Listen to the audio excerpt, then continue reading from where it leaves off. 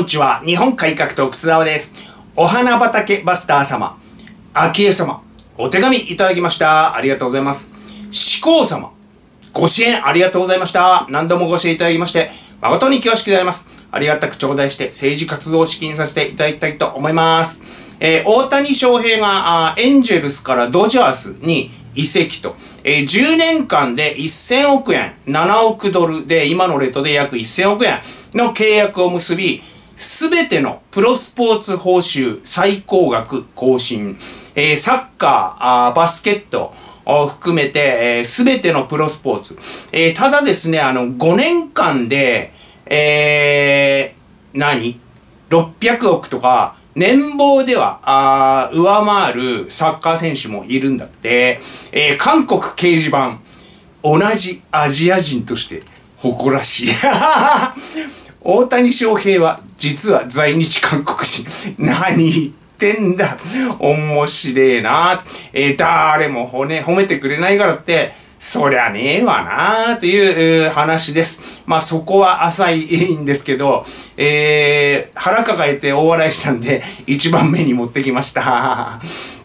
大谷翔平のお父さんお母さん、偉くてね、あの、今でも仕事を辞めてねえんだって。お母さんは相変わらずパートに出てるし、で、あの、お父さんはですね、え、息子の金で暮らすのはちょっとかっこ悪いとか言って、えー、大谷翔平から預かる、あの、お金、えー、何億、何百億、手つけてない、えー、偉いなー、えー、いう話であります。岸田政権、パーケン脱税疑惑で、安倍派の松野博一官房長官、高木剛国対委員長、西村康稔経産大臣、萩生田光一政調会長、世耕弘成参院幹事長を更迭する方針。えー、早速ですね、一層メガネって名前ついておりました。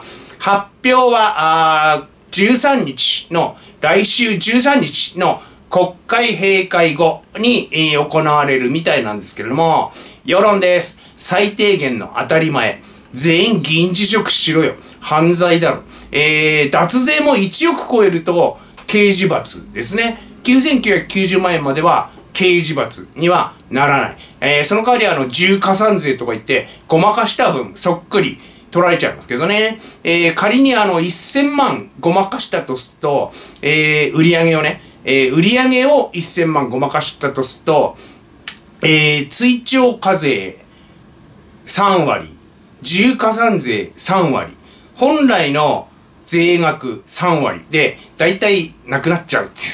売上がなくなっちゃう。だから、利益以上になくなってしまうという重い、あのー、刑罰が下りますね。あっさり安倍派を完全壊滅させてて草。いや、養殖外れておしまいはおかしいだろ。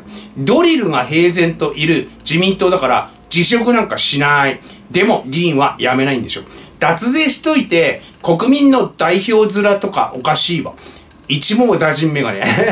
一網打尽メガネ。えー、2022年度、自民派閥別パーケン収入、えー、申告されてるやつね。えー、表に出てるやつ。えー、だから、実際はどうかはわからない。安倍派99人、えー、9480万円、えー、議員1人当たり95万円のパーケン収入。麻生派56円、えー、2億3331万円、416万円。1人当たり、えー、議員1人当たり416万円。集金したってことですね。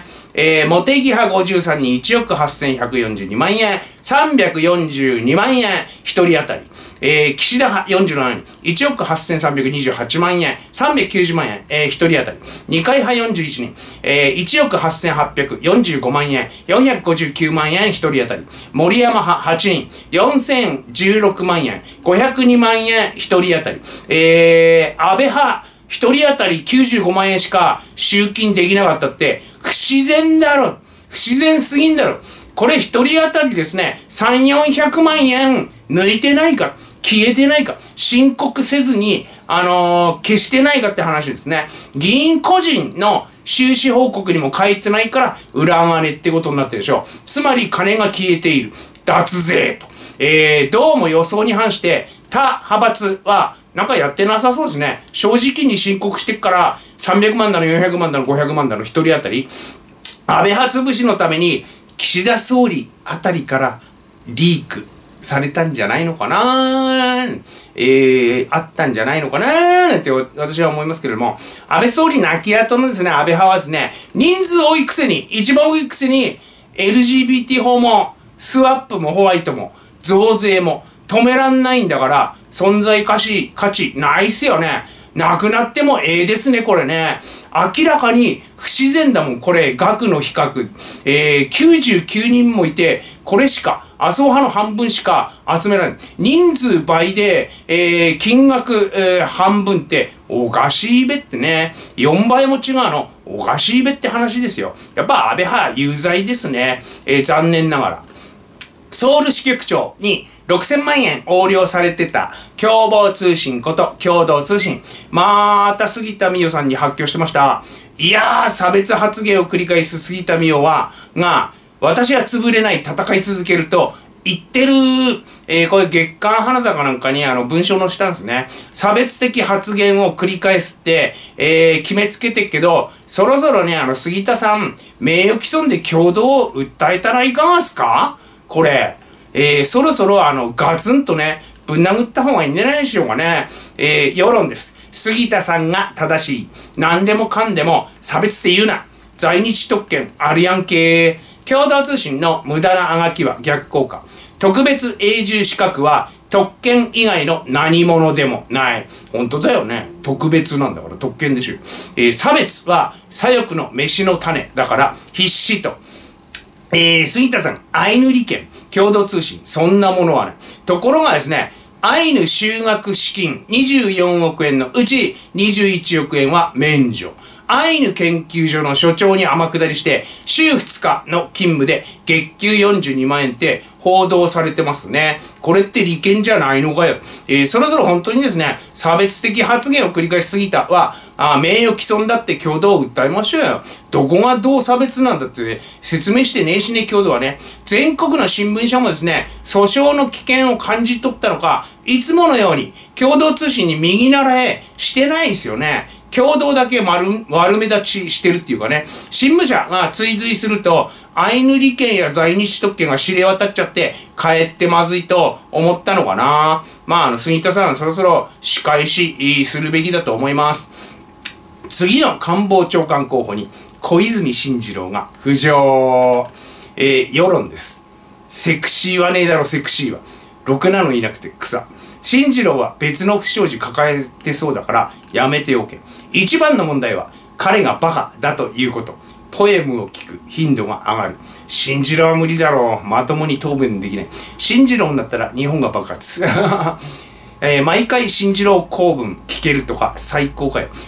小泉みたいな完全な区別は裏方がやりやすくて、えー、楽、おぼろげに官房長官の道が見えてきました。えー、進次郎公文とは、夜景を楽しむには夜出かけるといいんですよ。とか、自分のターンが終わった時、相手のターンが始まる。とか、えー、毎日でも食べたいということは、毎日でも食べてるわけではないです。とか、どの映画でも必ず最後にラストシーンが来るんですよ。とか、水には豊富な水分が含まれてますからね。とか、つまりですね、何言ってんだお前。と、人をうねらせる、うならせる発言のことを新次郎公文と言いますね。えー、毎日記者会見、毎日のように記者会見がある官房長官、務まんのかな？えー、同じくですね、何言ってんだお前？の、磯子とですね、何言ってんだお前？の名勝負を繰り広げるかもしれないなえー、派閥パーケン疑惑とは無関係なですね、無派閥議員を登用したいんだって。えー、他にはですね、あの、河野太郎の名前も上がってるらしいんですけど、あの、官房長官候補に。えー、内容証明で脅迫太郎は麻生派じゃなかったっけかな。無派閥がいいって言うんだったら、高市官房長官がいいな。えー、露出が多いから知名度上がるしね。えー、日本政府、日本学術会議を民営化する方針、学術会議、受け入れられない。自律的活動のため資金援助が必要。とか言ってるらしいですね。世論です。何言ってんだこいつら。えー、金出せ、口は出すなって言ってんのか。えー、資金援助されてる状態は自立とは言わない。年間10億もらって全然仕事してねえじゃねえか。えー、世間に文句垂れてる以外のことをしてない。自律的にやりたいなら自費でやりなさいよ。自由になれんだから喜べよ。えー、小じきにですね、あの、もうあげないよって言ったら小じきがですね、受け入れられない。って、えー、言ったら、あどうでしょうね。何言ってんだお前ですよね。えー、自立のための資金が必要ってのも矛盾してるよね。金はもらう、口は出すんだって、虫良すぎんだろ。こんなこと言ったら人はどう思うかってのが、あの予想できない専門バカばっかなんすかね。私にはですね、非常に幼稚に見えるんだが、えー、中学生以下、小学生、幼稚園児、えー、学術会議は明らかにデトックス対象ですね。デトックスジャパンのね。日本を改革する上で排除すべき組織だ、これね。えー、それこそあの、日本人の使命、すり個性ですよ。永遠の改善ととも言いますけれども。